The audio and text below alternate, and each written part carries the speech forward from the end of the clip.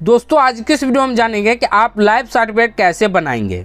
आसान भाषा में बोलूँ तो आप जीवन प्रमाण पत्र कैसे बनाएँगे और कौन कौन से व्यक्ति को जीवन प्रमाण पत्र बनाना होगा। सो, सभी जानकारी के साथ आज की इस वीडियो में आपको बताने वाला हूँ तो वीडियो के अंत तक बने रहिए। मेरा नाम है राजकुमार और आपका अपना ही चैनल राज हेल्प में आपका स्वागत है। तो चलिए, वीडियो शुरू करते हैं। फ्रेंड्स वीडियो में आगे बढ़ने से पहले हमेशा तरह आपसे एक रिक्वेस्ट रहेगा। वीडियो पसंद आ जाए तो वीडियो को लाइक कर देना और इसी तरह की जानकारी के लिए आप हमारे चैनल को सब्सक्राइब कर लीजिए, साथ में बेल आइकन को ऑन कर लीजिए। तो दोस्तों, देखिए, जीवन प्रमाण पत्र बनाना चाहते हैं तो उनके लिए सबसे पहले आपको क्रोम ब्राउज़र को ओपन कर लेना है। और क्रोम ब्राउज़र ओपन करने में दोस्तों सिंपली आप गूगल ओपन कर लीजिए। गूगल ओपन करने में दोस्तों, यहाँ पे आपको टाइप करना है जीवन प्रमाण। सिंपली आप जीवन प्रमाण लिख के सर्च कर दीजिए और सर्च करने में दोस्तों, आपको ये पहले वाले लिंक पे क्लिक कर देना है। तो इस पर आप इस तरह से क्लिक कर दीजिए। इस पर आप जैसे क्लिक करेंगे दोस्तों तो आप जीवन प्रमाण की वेबसाइट पर आ जाएँगे।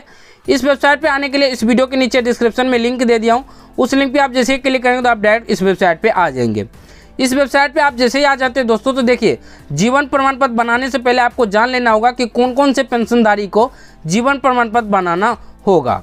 तो देखिए, अगर आपको कुछ इस प्रकार का पेंशन मिल रहा है, जैसे कि मान लीजिए, आपको जो सो कोई वृद्धजन पेंशन मिल रहा है या फिर विधवा पेंशन मिल रहा है या विकलांग पेंशन मिल रहा है, इस तरह का कोई सरकारी पेंशन मिल रहा है तो उस बीच आपको दोस्तों इस वेबसाइट पर आके बिल्कुल भी जीवन प्रमाण पत्र बनाना नहीं होगा। ये बात आपको ध्यान में रहे।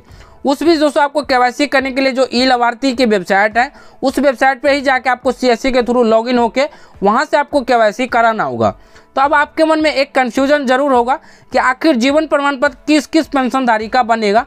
तो देखिए, अगर आपको कोई सरकारी जॉब था या कोई प्राइवेट ही जॉब था और उस जॉब के आधार पर जब आप रिटायर हो चुके हैं और रिटायर बेस पे आपको कोई पेंशन मिल रहा है तो उस बीच दोस्तों आपको इस वेबसाइट पे आके जीवन प्रमाण पत्र बनाना होगा।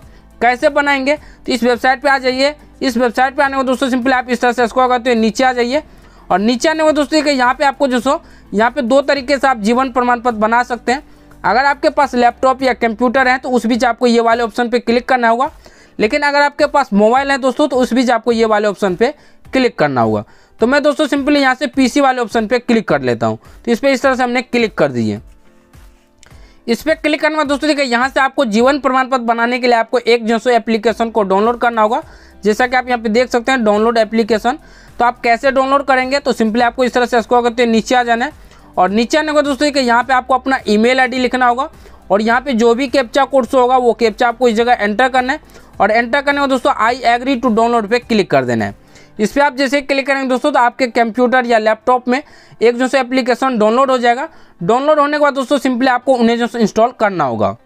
जैसे ही दोस्तों, आप जीवन प्रमाण पत्र के एप्लीकेशन को आप अपने लैपटॉप या कंप्यूटर में डाउनलोड करते हैं।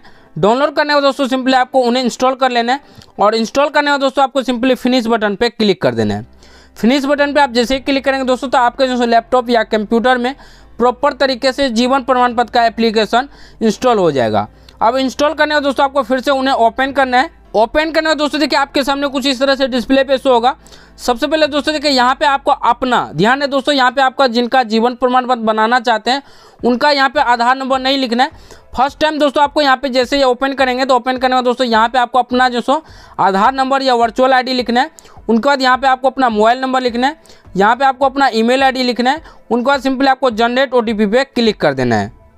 जनरेट ओ टी पे आप जैसे क्लिक करेंगे दोस्तों तो आप जो मोबाइल नंबर एंटर करेंगे, उस पर ओ जाएगा तो वो ओटीपी आपको इस जगह एंटर करना है। और एंटर करने में दोस्तों सिंपली आपको ओके बटन पे क्लिक कर देना है। ओके बटन पे क्लिक करना है दोस्तों, यहाँ पे आपको अपना नाम लिख लेना है। और यहाँ पे कुछ टर्म एंड कंडीशन दिया गया, जिन्हें आपको पूरे बारीकी से पढ़ लेना है। और पढ़ने के बाद दोस्तों, आपको ये बॉक्स पे आपको क्लिक करना है।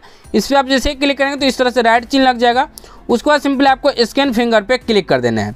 स्कैन फिंगर पे आप जैसे क्लिक करेंगे दोस्तों तो आपके जो सो लैपटॉप या कंप्यूटर के साथ जो भी फिंगरप्रिंट मशीन लगा होगा, उसमें जो सो लाइट जलेगा तो उस पर आपको अंगूठा रख के वेरीफाई कर लेना है। और वेरीफाई करने को दोस्तों क्या इस तरह से यहाँ पे लिखा आ जाएगा रजिस्ट्रेशन सक्सेसफुली सिंपली आपको ओके बटन पे क्लिक कर देना है। ओके बटन पे क्लिक करना दोस्तों, देखिए, अब आपको यहाँ से जिन व्यक्ति का जीवन प्रमाण पत्र बनाएँगे, उनका जो डिटेल्स भरना होगा। तो सबसे पहले दोस्तों, देखिए, यहाँ पे उनका आधार नंबर या वर्चुअल आईडी लिखना है। यहाँ पे मोबाइल नंबर लिख देना है और ईमेल आईडी कंपलसरी नहीं है, ईमेल आईडी है तो लिख सकते हैं, अन्यथा ये कॉलम को खाली छोड़ दीजिए। उसके बाद सिंपली आपको जनरेट ओटीपी पे क्लिक कर देना है। जनरेट ओटीपी पे आप जैसे क्लिक करेंगे दोस्तों तो यहाँ पे आप अपना जो ओ लिखेंगे, जो भी आपके मोबाइल पर ओ आएगा, और ओटीपी एंटर करना है दोस्तों, सिंपली आपको ओके बटन पर क्लिक कर देना है। ओके बटन पे क्लिक करना है दोस्तों, यहाँ पे आपको जो पेंशनर का नाम लिखना होगा, यानी जिन व्यक्ति का जीवन प्रमाण पत्र बना रहे हैं, उनका नाम लिखिए। यहाँ पे उनका जो सो टाइप ऑफ़ पेंशन यानी पेंशन किस टाइप का मिल रहा है? तो वो आपको यहाँ से सेलेक्ट करना है। इस पर आप जैसे क्लिक करेंगे दोस्तों तो ये वाले कॉलम जो आपको मिल जाएगा। तो इस पर क्लिक करके उस हिसाब से आप सेलेक्ट कर लीजिएगा। और इसको जैसे ही आप सेलेक्ट करेंगे तो उसके बाद ये वाले ऑप्शन को सिलेक्ट करना है। उसके बाद आपको ये वाले ऑप्शन को सिलेक्ट करना है। उनके बाद यहाँ पे आपको पीपीओ नंबर आपको जो लिखना होगा। कभी कभी ऑटोमेटिक आ जाएगा। अगर नहीं आते हैं तो उस भी जिन व्यक्ति का जीवन प्रमाण पत्र बना रहे हैं, उनसे पूछ के आप यहाँ पे पीपीओ नंबर लिख लीजिए। उसके बाद यहाँ पे आपको जो अकाउंट नंबर ऑफ़ पेंशन का, यानी पेंशन का अकाउंट नंबर लिखना है। और ये दोनों बॉक्स पे आपको नो नो पे क्लिक कर देना है। उसके बाद यहाँ पे कुछ टर्म एंड कंडीशन दिया गया जिन्हें आपको पढ़ लेना होगा। और पढ़ने के बाद दोस्तों आपको ये बॉक्स पे क्लिक कर देना है। इस बॉक्स पे आप जैसे ही क्लिक करेंगे तो इस तरह से राइट चिन्ह लग जाएगा। उसके बाद सिंपली आपको स्कैन फिंगर पे क्लिक कर देना है। स्कैन फिंगर पे आप जैसे ही क्लिक करेंगे दोस्तों तो आपके लैपटॉप या कंप्यूटर के साथ जो भी फिंगरप्रिंट मशीन लगा होगा, उस पर लाइट जलेगा। तो उस पर जिन व्यक्ति का आप यहाँ पे जो सो जीवन प्रमाण पत्र बना रहे हैं, उनको जो सो फिंगर मशीन पे अंगूठा रखना होगा। और जैसे ही अंगूठा रखेगा दोस्तों तो उनके बाद आपको वेरीफाई करना होगा। जैसे ही दोस्तों वेरीफाई हो जाएगा तो उस बीच आपको यहाँ पे उनका जो पासपोर्ट साइज़ फ़ोटो उनके आधार कार्ड पे जो भी फ़ोटो होगा, वो फ़ोटो देखने को मिल जाएगा। और यहाँ पे उनका जो सो जीवन प्रमाण पत्र नंबर देखने को मिल जाएगा कुछ इस प्रकार से, जैसे कि आप यहाँ पे देख सकते हैं। तो इस तरह से यहाँ पे जीवन प्रमाण पत्र संख्या देखने को मिल जाएगा। और यहाँ पे आपको पेंशनर का नाम देखने को मिल जाएगा। उसके बाद यहाँ पे कितने तारीख को आप जो उनका जीवन प्रमाण पत्र बनाएँ और कितने बजे वो डेट और टाइम देखने को मिल जाएगा। सिंपली आपको कहना है, यहाँ से प्रिंट बटन पर क्लिक करके उन्हें जो प्रिंट करके दे देना है। सो इस तरह से दोस्तों बहुत ही आसान तरीके से घर बैठे ही खुद से जीवन प्रमाण पत्र बना सकते हैं। सो दोस्तों, आज की वीडियो में एक जानकारी था। उम्मीद करता हूँ ये वीडियो आपको पसंद आया होगा। वीडियो पसंद आए तो लाइक कीजिए, अपने दोस्तों के साथ इस वीडियो को शेयर कीजिए और आपके मन में कोई सवाल, कोई कन्फ्यूज़न या कुछ पूछना हो तो नीचे कमेंट बॉक्स में आप बेझिझक हमसे पूछ सकते हैं।